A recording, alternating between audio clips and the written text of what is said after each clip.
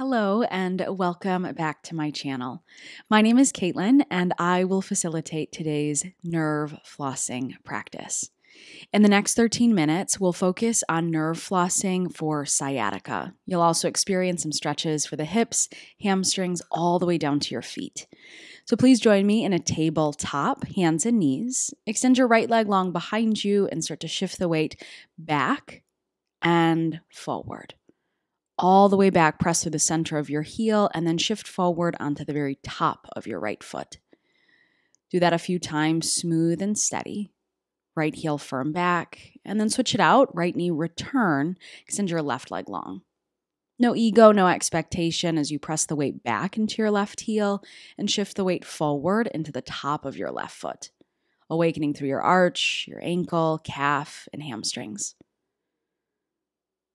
tabletop, and then make your way all the way down to your back body. You lie down on the floor, set your legs in bound angles, soles of feet together, knees wide. Place your palms lightly on your belly, and let's take a few deep breaths to center and ground. Nostrils to navel, big breath in. Little pause with mild tension at the top and open mouth exhale, let it go. Again, deep breath in, feel your hands rise, your belly lift, and open mouth exhale, let it out. Hug your right knee to your chest, let your left leg go long. Interlace your fingers on right hamstrings and start to straighten and rebend the right knee. So, this is specifically for your sciatic nerve. Your nerves respond much different than the hamstrings or your muscles. So, you want to find some dynamic movement instead of holding static or still. Straighten through the right leg and rebend please keep your right foot flexed. You may find through this action your right quadricep begins to fatigue. So, if at any point you need rest, please honor what comes up, take a few breaths and rest, and then join us. Return. Keep your right leg straight, extend it up towards your ceiling, and then point and flex through your right toes. Start to navigate sensation through right ankle, right calf muscle, and your right shin as you point and flex.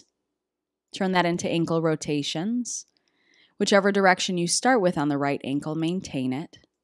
Three, two, one. Now switch direction of your right ankle rotations. Keep your right leg straight. Return to that bend and extend that we started with. Just a few more cycles. Bend and extend. See if you can find a little more range and motion when you straighten through the right leg. And then hug your right heel towards your right glute muscle. Figure four on the right. Cross your right ankle over left thigh. Interlace fingers on left hamstrings. When you inhale, you'll press the legs away. It's a subtle action. On your exhale, hug the legs in closer to the chest. Inhale, the legs press away, belly expand. Exhale, hug the legs in towards the chest. And working with the breath, navigating dynamic movement instead of these still or static holds. Please soften your tongue and relax your eyes. The inhale, legs press away, and the exhale, you hug that figure four shape into the torso. And the next time you hug the legs in, keep that hug, keep that tight squeeze. Relax your shoulders down into the mat or into the floor. Cross your right thigh and right knee over your left. This is reclined cow face pose. Grab what you can, your shins, ankles, or heels. And then, like a snow angel action, you'll lift your feet up, toes towards one another, rebend your knees, and draw your heels towards your outer hips. Your feet lift up, toes towards one another, and your knees rebend, heels towards your outer hips. Keep your right knee crossed on top of your left as you lift the feet and lower the heels. Press your outer right hip forward. Keep your low back heavy into your mat. And then draw your heels up towards your face. Pull your feet or your shins up towards your face. Eagle leg twist. Cross your right thigh over your left. Maybe right foot crosses behind your left ankle. Keep your left foot on the floor and drop your bent knees over to the left. Now you lift your bent knees and then lower your knees over to the left. Lift and lower. Whichever way your knees fall, gaze in the opposite direction. In this case, gaze is to the right, knees to the left. Do that a few more times. You lift and lower the legs. You lift and lower the gaze.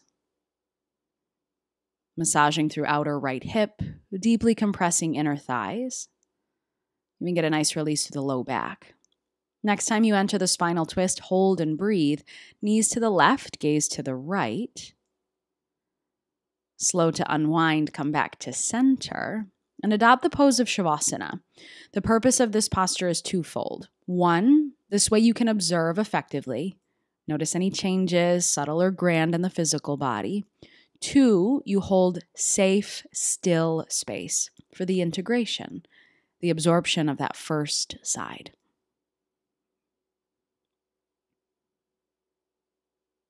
Hug your left knee towards your chest. Interlace fingers on left hamstrings, and we'll start that whole series on the left.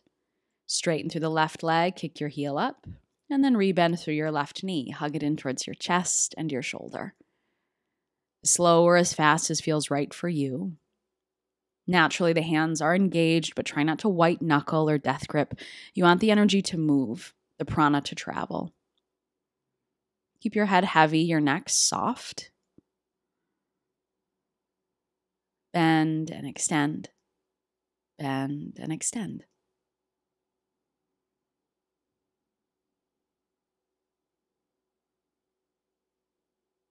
Soften any tension held in your eyebrows. The next time your left leg is straight, hold it that way. Point and flex your left toes. Articulate the action from heel to pads of your left foot all the way to the toe prints. Flex and point. Rotate your left ankle, stick with that same direction you start with. And then switch it out. Acknowledge your range in motion. And then return, bend, and extend. When you straighten your left leg, please flex your left foot, really drive out through the heel.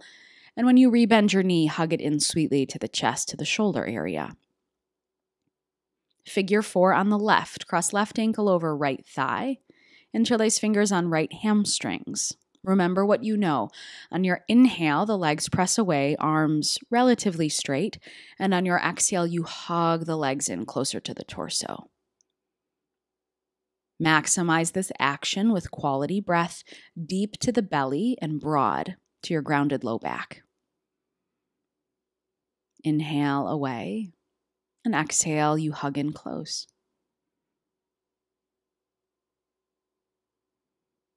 Relax through your right toes as you flex through your left foot. The next time you hug that figure four in towards your body, hold and breathe. Feel the length in the back of your neck. Reclined cow face legs. Cross your left knee and left thigh over your right. Grab what you can ankles, maybe the outer heels, and maybe on this side, you release your arms to the ground. You lift the legs and flex your feet towards one another. You lower the heels and draw them close to your outer hips. If it's helpful to you, imagine a snow angel action, the way the feet rise and fall. Lift the feet towards one another and lower the heels towards your outer hips. Be mindful of the appropriate range. Nothing is meant to feel jarring or jamming. Nothing is meant to feel rushed. Let it inspire sensation as you find the middle and then pull your feet or shins up closer to your shoulders and face. Eagle leg twist. Cross your left thigh, left knee over your right, maybe left ankle under your right. Drop your bound legs to the right and look to the left. You'll repeat this action a few times. Lift the legs, lift the head through the middle. And then drop your eagle legs to the right, gaze to the left. Inhale through center. Exhale, eagle leg twist. Massaging through outer hip. Inhale, legs up, head up. Exhale, eagle twist. Smooth and steady. And that's regarding the breath and the movements.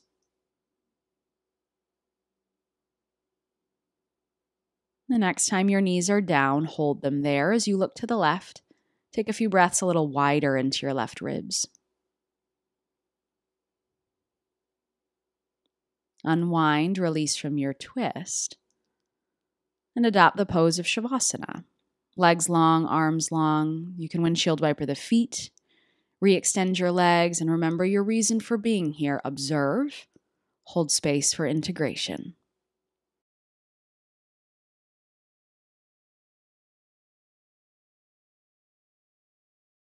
Hug left knee to chest, hug your right knee up to meet it. Rock and roll the length of your spine. Come all the way up to standing, Malasana, garland pose. Toes are out, heels are in, deep bend in your knees. You can keep your hands down, fingertips or palms. Lift your hips, straighten your legs, rebend your knees, and drop your buttocks super low. Straighten the legs, hips up, rebend your knees. You come in and out of this low squat, working with hip mobility, stretching through the low back, as well as ankle mobility. Hips up and hips lower. Your thighs may begin to fatigue, so if you need rest, please give yourself that option. Standing forward, bend, toes forward. Then tabletop, come to all fours, hands and knees. Tuck your toes under. Take a seat on your heels, walk your hands closer to knees. If it's safe for you, broken toe, take a seat directly on your heels, shoulders over your hips. Hands can rest on your thighs, palms open, heart open. Set your gaze or close your eyes and take a few deep breaths in through the nose and open mouth exhale. Cleanse and clear consciously with the breath.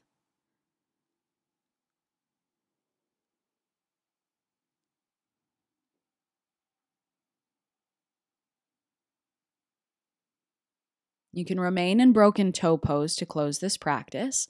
Otherwise, join me in a comfortable seat, ankles cross. Join your hands together, thumbs to sternum. Together we breathe in, and together we breathe out. Please close your eyes, draw greater attention inward towards your heart. May all beings be happy. May all beings be healthy. May all beings be safe. May all beings know peace. May all beings find their freedom. May all beings move through the world with ease. And my hope for you is that your practice, your healing is continuous, your heart steady, and of benefit to all beings. Take a breath in and let a breath out. That will conclude our nerve flossing practice. I do hope that you feel a little more free from feet through hips and hamstrings, even into the low back. Be kind to yourself, be kind to others, and I hope to see you in my next video. Bye.